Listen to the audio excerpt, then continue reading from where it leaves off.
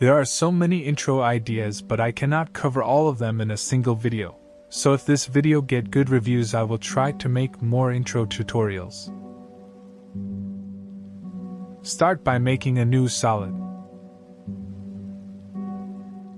Change color to white.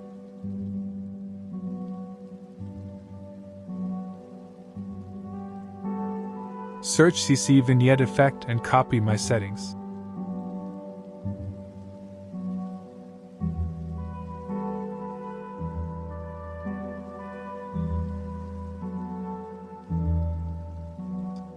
Go to first beat and press T.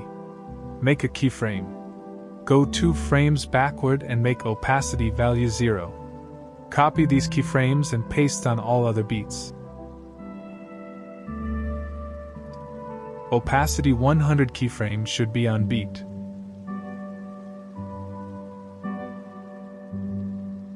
And you're done.